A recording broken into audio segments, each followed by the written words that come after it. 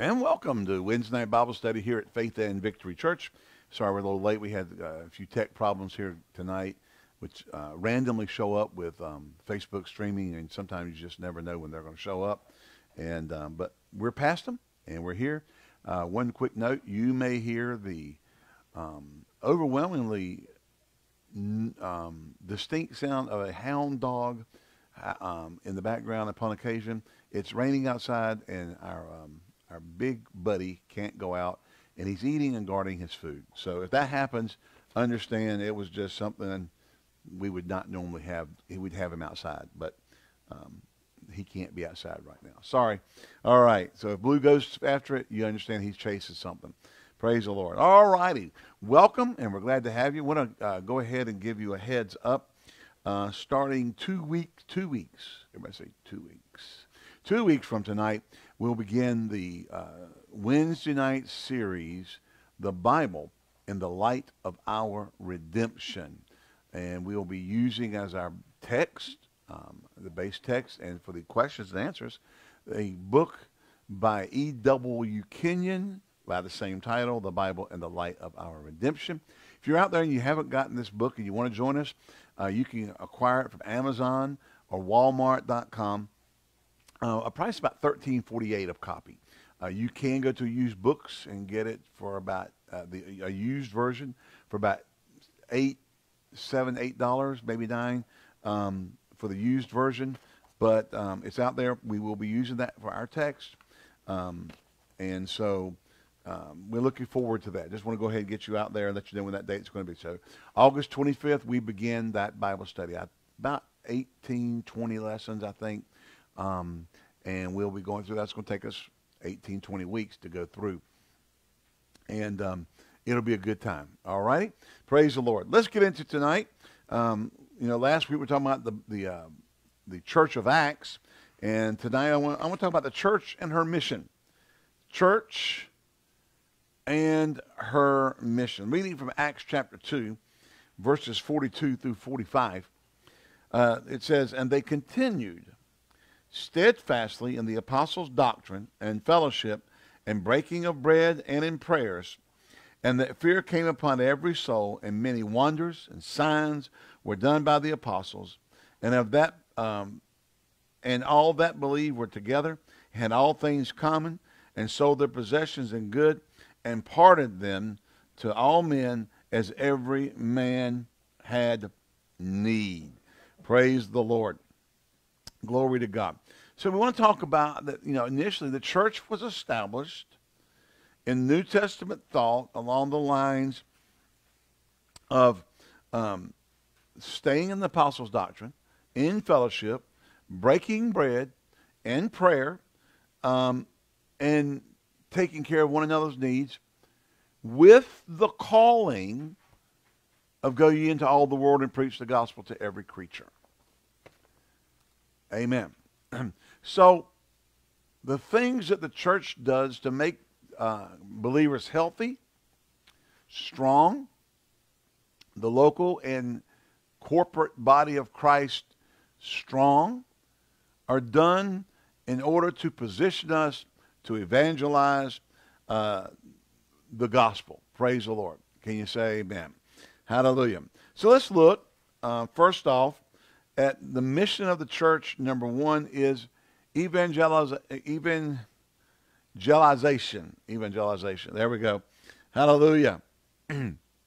Matthew chapter 28. I think I really mutilated that word. Evangelization. Thank you, thank you. I, I knew I mutilated. I couldn't quite. Once, once, sometimes once you mutilate it, there's no fixing it. Hallelujah. Um, I know one preacher used to um, say the word obstacle or obstacle. Obstacle. Hallelujah. And once that was said, you couldn't ever get it right in your head. Hallelujah. Praise God. Um, Matthew chapter 28, verse 18. And Jesus came and spake unto them, saying, All power, now we know this word uh, power is, is exousia in the Greek, meaning authority. So better translated, all authority is given unto me in heaven and in earth. And go ye therefore and teach all nations, baptizing them in the name of the Father and of the Son and of the Holy Ghost, teaching them to observe all things whatsoever I have commanded you. And lo, I am with you always, even unto the end of the world. Amen. And also looking over into Mark's Gospel in the 16th chapter, where Mark writes, starting in verse 15, uh, and he said unto them, Go into all the world and preach the gospel to every creature. He that believeth and is baptized shall be saved. He that believeth not shall be damned. and these signs shall follow them that believe in my name. That's this is Jesus talking. So Jesus says, "In my name, they shall cast out devils," or variant translations say it this way: exercise authority over demons. Hallelujah. They shall speak with new tongues. They shall take up serpents. And if they drink any deadly thing, it shall not hurt them. They shall lay hands on the sick, and they shall recover. Hallelujah. And then 2 Timothy chapter 4. 2 Timothy chapter 4. And in verse 5, it says, Paul writing to his young protege Timothy, But watch thou unto all things, endure affliction, endure afflictions, do the work of an evangelist, make full proof of thy ministry. Hallelujah. So here we have evangelizing is the mission of the church to go forth with the good news of Jesus, sharing how God loves humanity, the plan of reconciliation and restoration he has for their life, to deliver them from the powers of darkness and to translate them into the kingdom of his dear son. The church's mission of evangelization is to be foremost its, its calling and purpose. The foremost calling and purpose of the church is not to get together and be cool or have a great time. We're going to cover some of these things in a minute. But the purpose of the church. See, if the minutes, if, if the purpose of the church was for us just to be happy, full of joy, healed, and prosperous, and whatever, we just may as well get saved to go to heaven immediately. Know, our, our, our mission is to win the lost. That's our calling. That's, our, that's what we're here for, is to go bring people into the kingdom of God. Somebody say amen. amen. The other things about the church are to make us effective for evangelism, to make us healthy. You know, it's, it's hard uh, for unhealthy Christians to be good evangelists, as it were.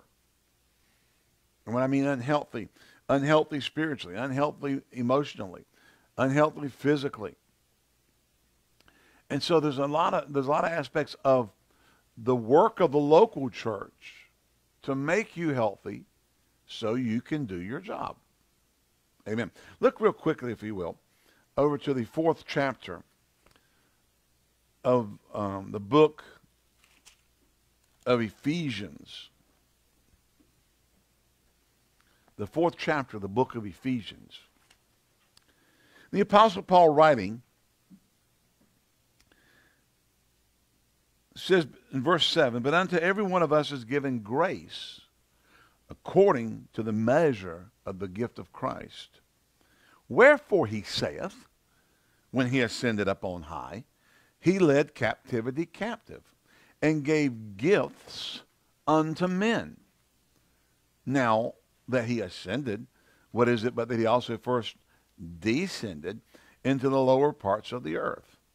He that descended is the same also that ascended up far above all heavens that he might fill all things. And he gave some apostles, and some prophets, and some evangelists, and some pastors and teachers for. So the apostle, the prophet, the evangelist, the pastor, teacher were given for a purpose. And he says here, for the perfecting of the saints. Now, King James use of the word perfecting is a little, um, um, what's the word I'm looking for? Um, obscure to us, or not really obscure, but m- maybe misleading. Because of our, our understanding or our use of the word perfect uh, in modern vernacular lends mainly to the idea of faultless, of perfection, faultless, no, nothing, everything's just perfect. It's just perfect. However, here, this word really conveys from from the uh, the original language mature, a growing up. Okay, so not faultless, not blameless, not without any issues at all whatsoever in the world, but mature. And so the gifts are given, the, min- the gifts of the ministries, ministry gifts are given to mature the saints. Why? Well, he goes on from there and says, so for the maturing of the saints, for the work of the ministry, to mature the saints so they can go do the work of the ministry. Hallelujah.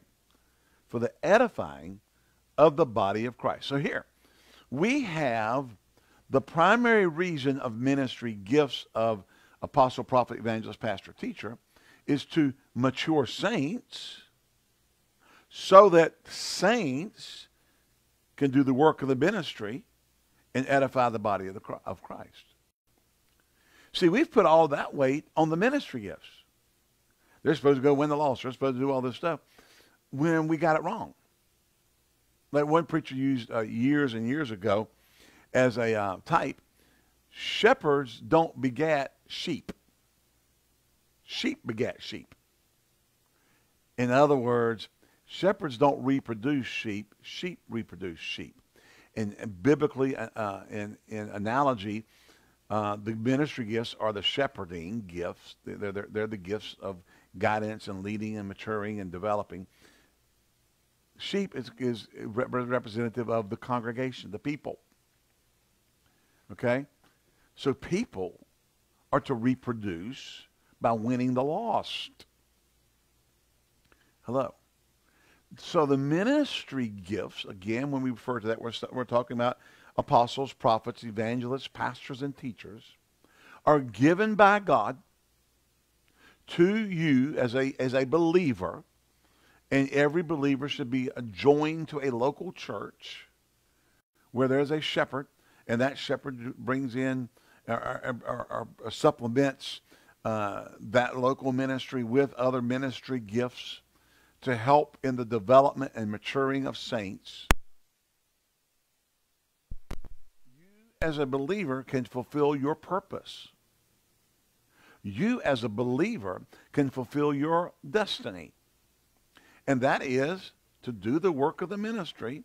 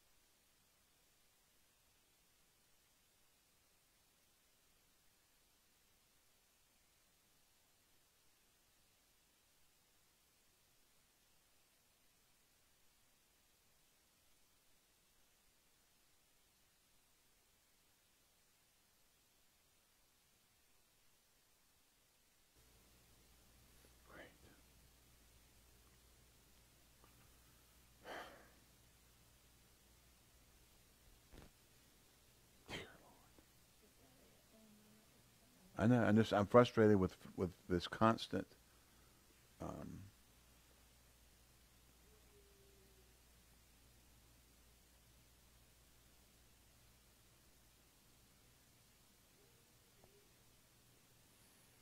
Are we back on? Are we, are we in a different session? Okay. I've got a red light. Sorry, guys, if you're listening out there, we, we apologize. We do not know what's going on.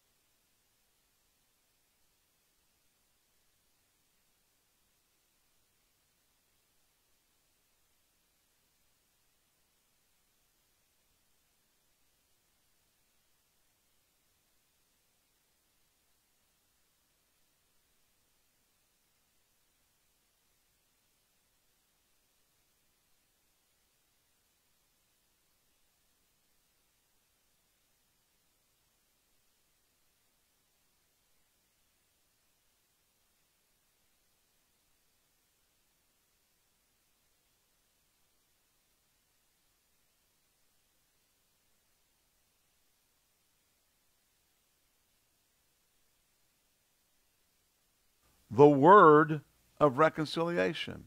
Now then, we are ambassadors for Christ, as though God did beseech you by us. We pray you in Christ's stead, be ye reconciled to God. Now notice he started out, therefore if any man be in Christ, he's a new creature. The people that got the ministry of reconciliation are the new creations, the new creatures, the, new, the believers we were given the ministry of reconciliation. Hallelujah. Glory to God. And so let's rejoice in that and be grateful and thankful that our calling individually in the body of Christ, um, to, you know, not the pastor, not the evangelist, not the teacher, not the prophet, the, the ones called to the work of the ministry with the ministry of reconciliation are believers. That's, that's your calling to do the work of the ministry. What is that? Be rec- to go to people and declare, be reconciled to God. Hallelujah. Amen. You're an ambassador for Christ. You're the bearer of his name. Amen. You're the beautiful feet. How lovely on the mountains are the feet of them that bring glad tidings of good things, who say, our God reigneth. Hallelujah.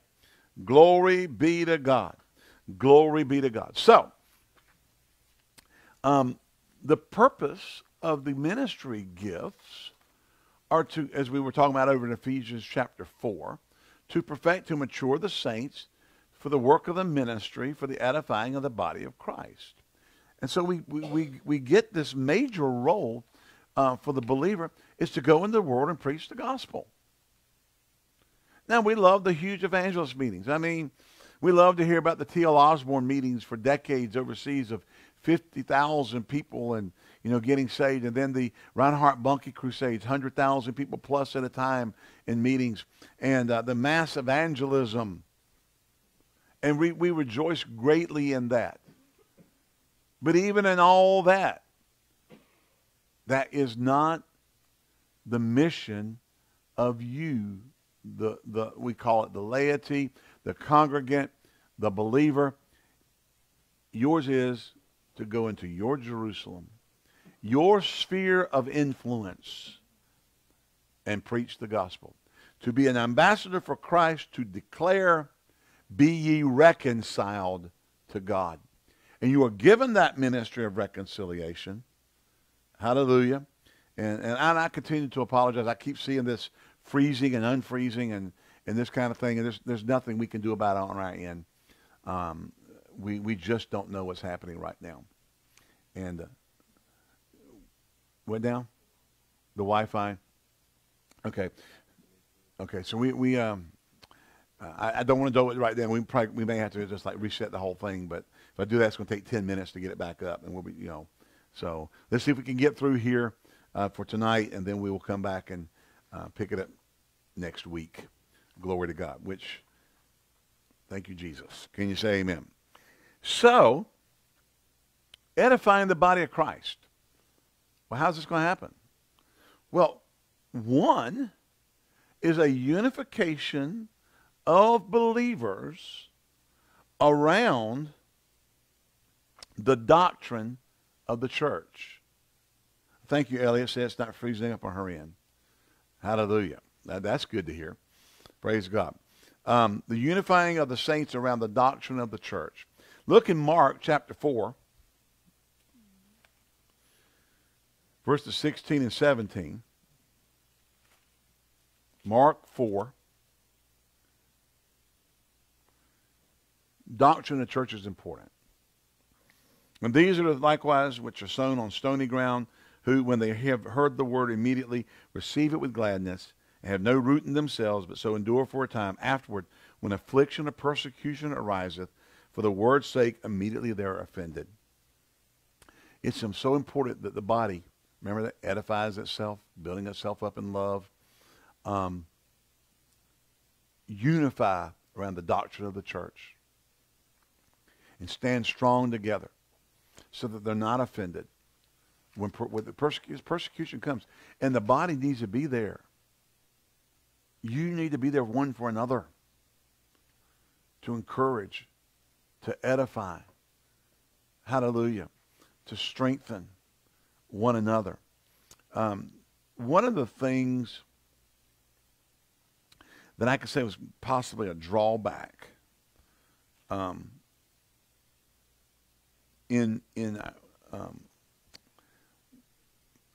some of our circles, some of our charismatic word of faith circles, was the independence of I can do it myself. I don't need anybody's help. I got it. I got faith. You know, um, I'm not going to talk about my problems. Da da da. Because that's not, that's not faith. Whatever. And there was no unifying together. The Bible says, share your faults one with another. The Bible says, if two or three agree as touching anything. Amen? Are you here? We did believe in asking prayer. Okay? You can't ask for prayer because asking for prayer would be a sign of lack of faith on your part. And you see, that's pride goes before destruction. So where Satan couldn't keep us out,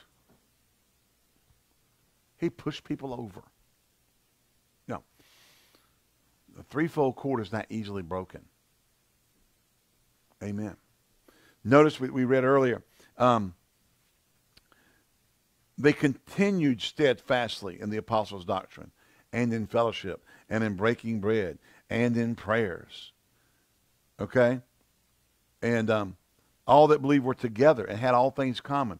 We, they, they were working together to keep each other strong. Praise the Lord. And we need that in the church. We don't need your arrogance. Well, bless God, I won't tell you. I never had to do that. I was just able to pray my way through it every time. Well, get let's get you a box of Cracker Jacks, pal. That kind of statement pushes people away from unifying and isolates them. The people who are hurting and the people who need to be able to come to the body and the body be strength to them. Can you imagine? Remember, you know, if the, if the uh, eye said to the foot, I have no need of thee, cut it off. Come on now.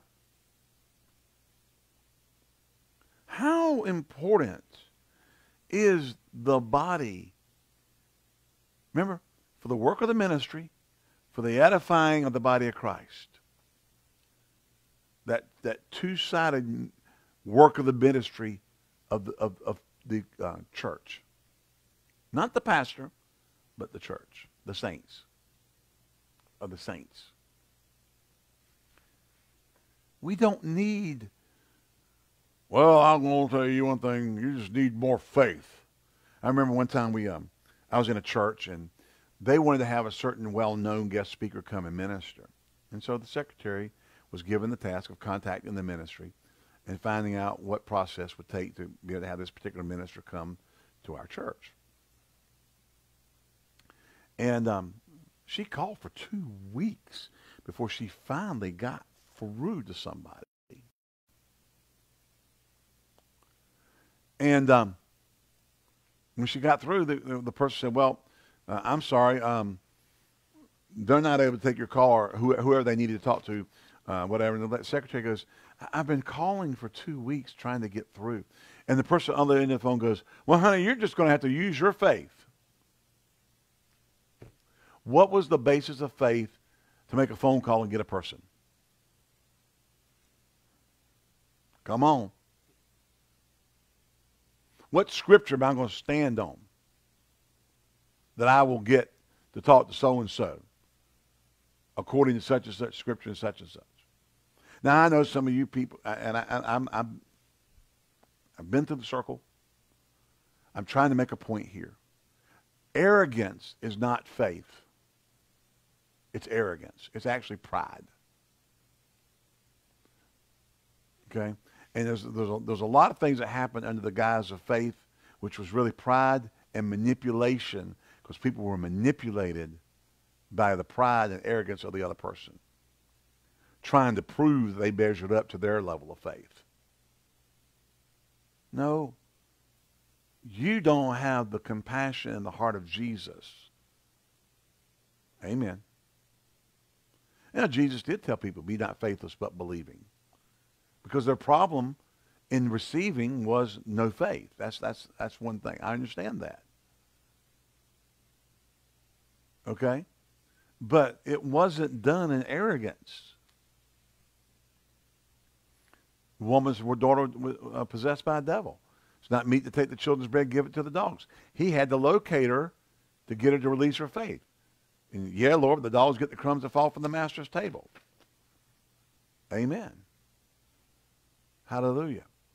But over and over again, you see Jesus being moved with compassion. We have to be compassionate. And that's one thing. If the Lord directs you, says uh, their problem is they don't have any faith, and you know, um, and they and that has to be addressed. But don't get so cocky that every time your response is going to be, you, are, you don't have any faith. Come on. Maybe you've been in that same place before yourself. You didn't have any faith. Amen. Hallelujah.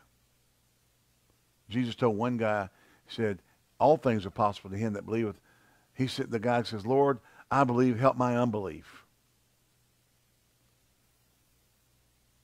Then that's when we come together and we undergird and we nurture and we help edify and build up and help them grow into that place, not knock them upside the head because they don't measure up to our level.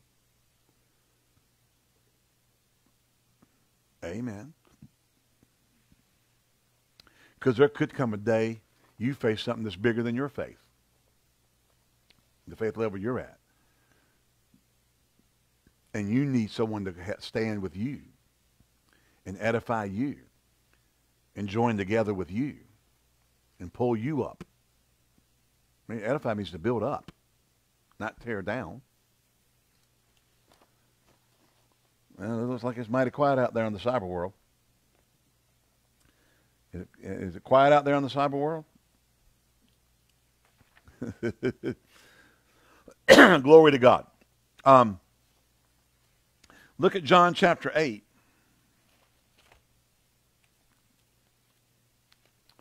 John chapter 8. That is the Gospel of John. I'm sorry. Well, we obviously it's not John first, second, or third John chapter 8 because they none of they don't even have eight altogether, I don't think. Maybe they do. John 8, looking at verse 31. Then Jesus said to those which believed on him, If you continue in my word, then are you my disciples indeed. You shall know the truth, and the truth shall make, or the truth shall set you free. Hallelujah. Notice they stayed steadfast in the apostles' doctrine. They remained steadfast in the apostles' doctrine. Staying together, building one another up, not scripture wars of trying to prove you know more than the next guy. I remember um, somebody had a, a unique ministry um, in, in, ministering to people was Marilyn Hickey. And um, I remember Sister Marilyn, she, would people, and they would, uh, she would ask what was wrong with them, and they would say something. Da, da, da. She says, well, I've got a scripture for you. And she'd give them a scripture that applied, I mean, just like, and she did that over and over and over again. It was just, it was so sweet. Hallelujah. But um, think about it. We, we can continue steadfastly the apostles' doctrine. When people are suffering, we, we you know, oh, you know, so and so, you know, you, you've got relationships. I've got a scripture for you. Not, well, you know, the Bible says. See, it's all in our demeanor, whether it's edifying or, or tearing down. Many times, we can say the same thing. You know that. People can say something to you and it be purely accurate and true, but the way it was said tore down instead of building up. If we're going to be, as believers, edifying the body of Christ, then we're going to have to do things seasoned with grace. Our words need to be seasoned with grace. Amen. Seasoned with grace. We want it to be pleasant to the ears of the hearer. Hmm. Went and got silent out there on the Facebook world again. Hallelujah. Isn't that right? So if we're going to we want to continue in the doctrine and unify in that.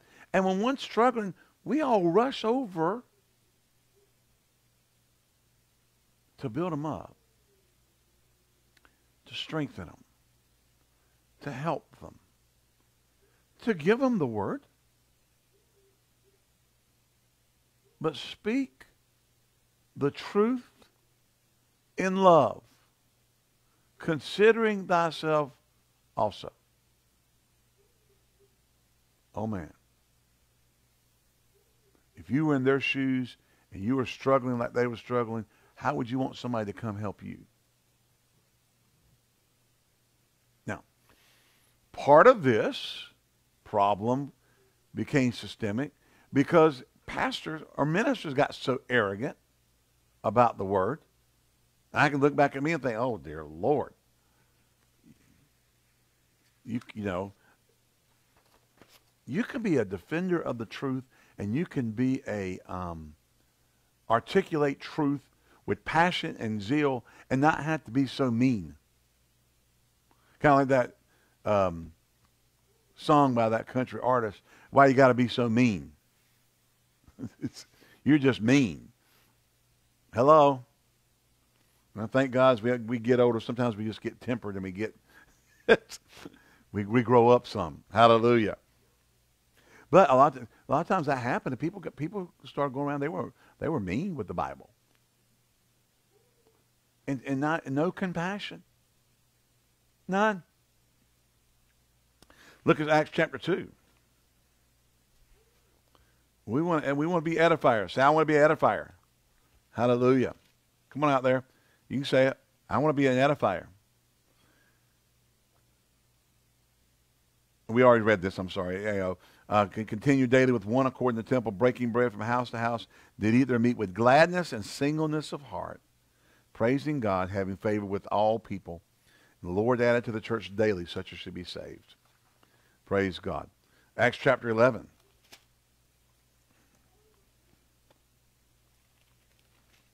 Acts chapter 11, verse 43. That's going to be hard to do. I looked at 23. How did I about say? There ain't 43 there. 23. Who, when he came and seen the grace of God, was glad and exhorted them all with the purpose of the heart that they would cleave um, unto the. Let me back up here. The tidings of these things came into the ears of, of the church which was in Jerusalem, and they sent forth Barnabas that he should go as far as Antioch who, when he was come and had seen the grace of God, was glad and exhorted them all that with purpose of heart they would cleave unto the Lord.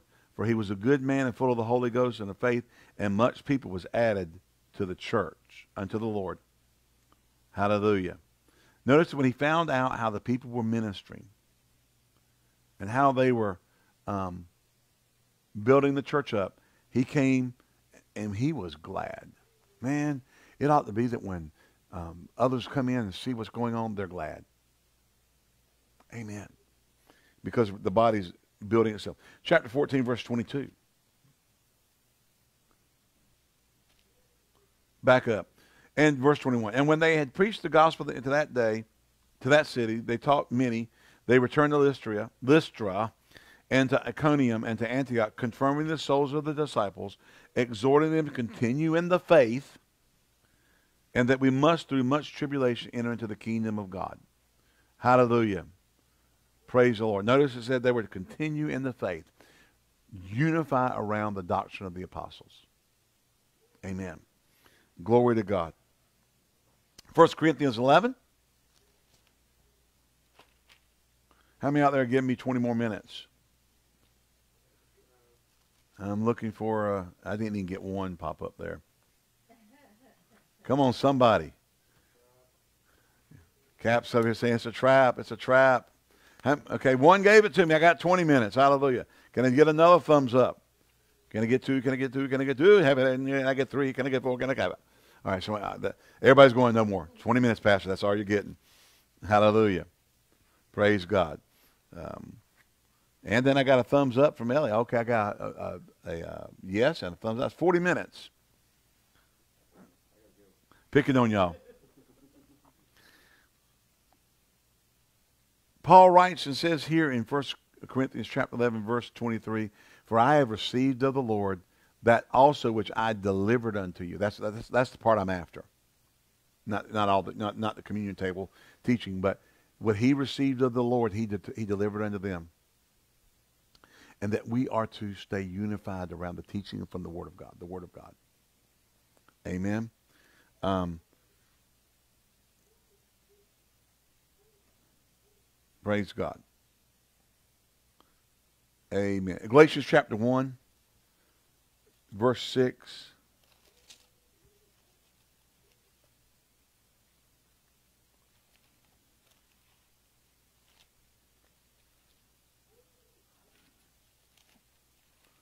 Come on, guys. Pages get unstuck here.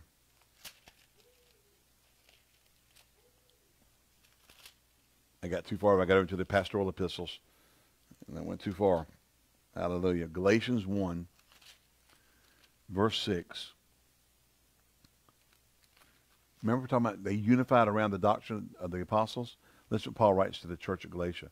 I marvel that you so soon removed from him that called you into the grace of Christ unto another gospel, which is not another, but there be some that would trouble you and would pervert the gospel of Christ. Why? There's all kinds of reasons. Ultimately, Satan. He wants to pervert the gospel. He wants to distort the truth. He, why? Because it is the power of sal- unto salvation.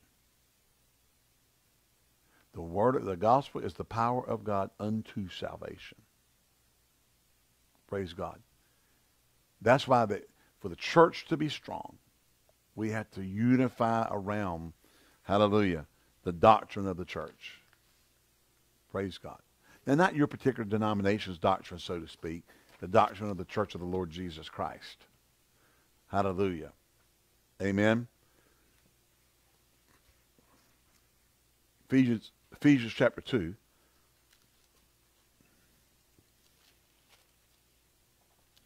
Verse 20.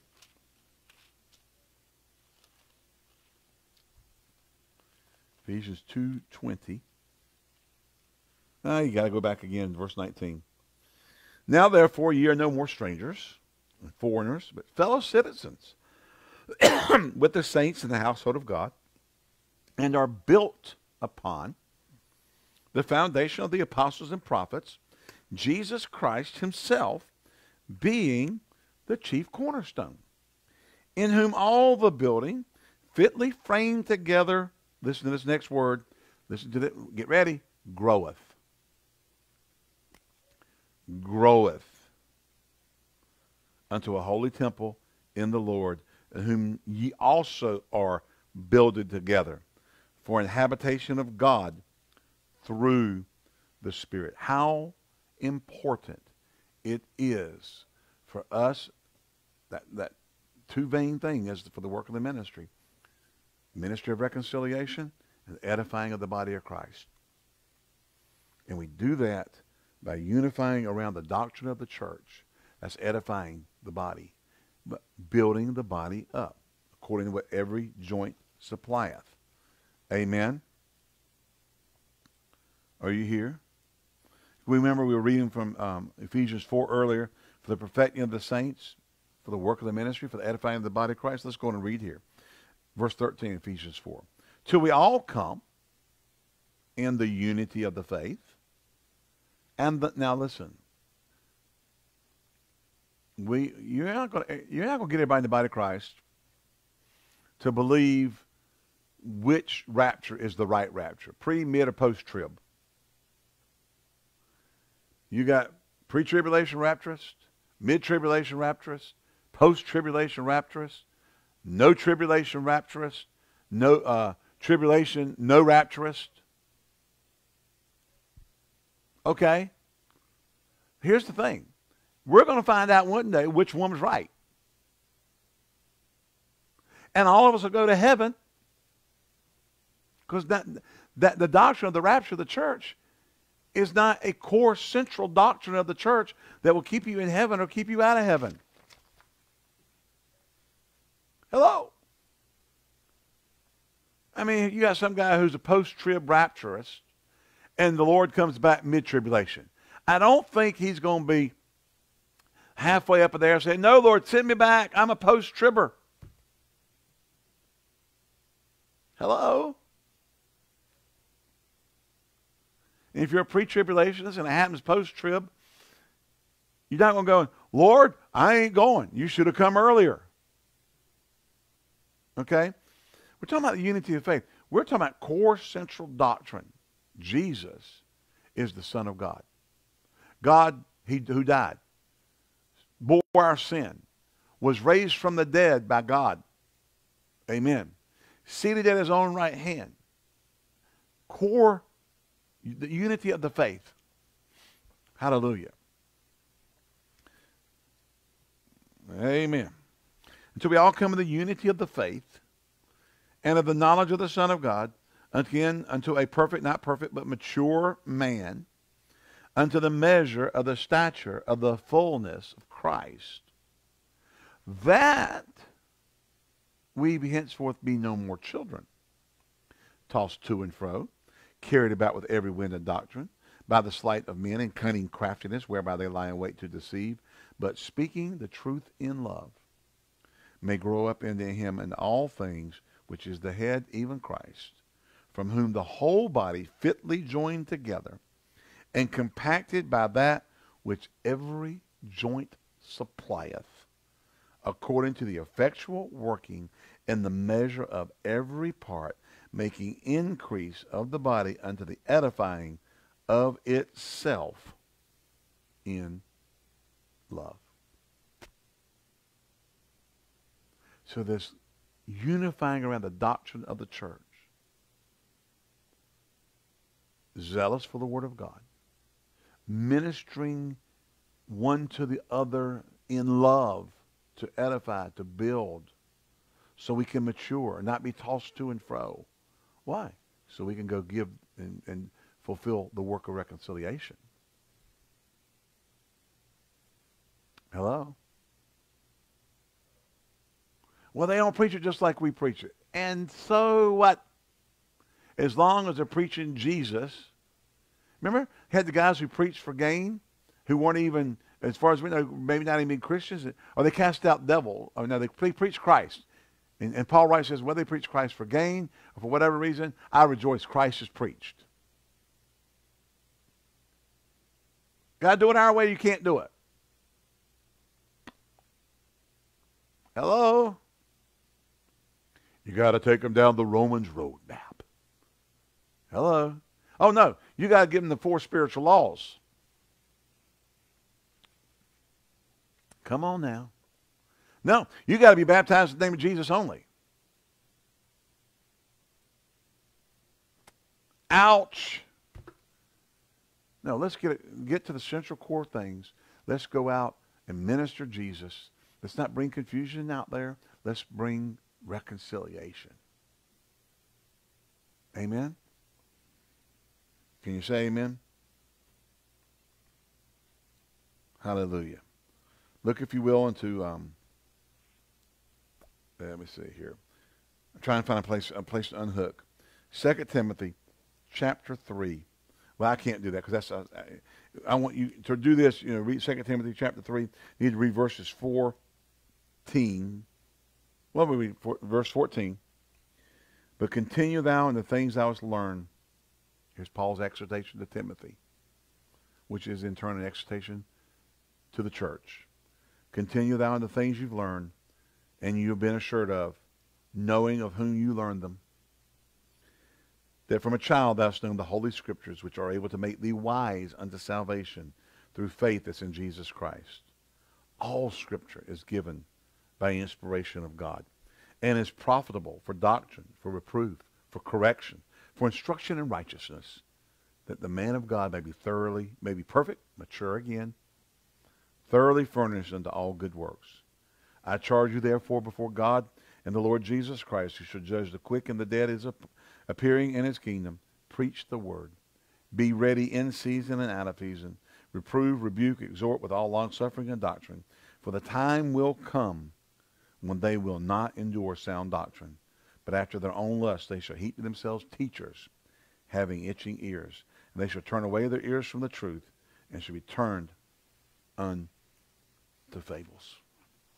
It is so important, church, that we unify around the teaching of the church and be steadfast in the doctrine of the, of the Lord in Jesus' name. So tonight we talked about evangelism, talked about unifying. Next week we're going to get into koinonia, hallelujah, fellowship, and uh, we'll cover um, how they participated in daily bread and broke bread together. And, uh, and then the following week after that, we're going to be moving into the uh, Bible in the light of our redemption. Glory to God. Hope you got something out of this tonight. With all the interruption, I think it finally settled down the last half, and um, there were some storms running around. It could have been interfering with, with you know the networks and stuff, causing some you know some glitches. Uh, that does happen. Praise God. Um, don't forget that you can give uh, electronically to Faith and Victory Church uh, through PayPal, Cash App. You can also send snail mail. Glory to God. We'd love to see you in person. Uh, we're currently meeting at uh, the uh, New Life Family Church's church. They're letting us uh, use their facility on Sunday afternoons. We are very grateful. But um, it's time to give. If you want to give your, your electronic offering to the Lord, you can go ahead and set that up in PayPal or set it up in Cash App and uh, send it in the name of Jesus. Father, we bless the people as they tithe and give in Jesus' mighty name. Thank you that heaven's windows are opened unto them and you pour out blessings that they do not have room enough to receive. In Jesus' name, amen. And amen. Praise God. Well, Until we meet again, remember these words from 1 John chapter 5, verse 4. Whatsoever is born of God overcometh the world. And this is the victory that overcometh the world, even our faith. Love you. God bless you. See you next time here, Faith and Victory Church, online. Hallelujah.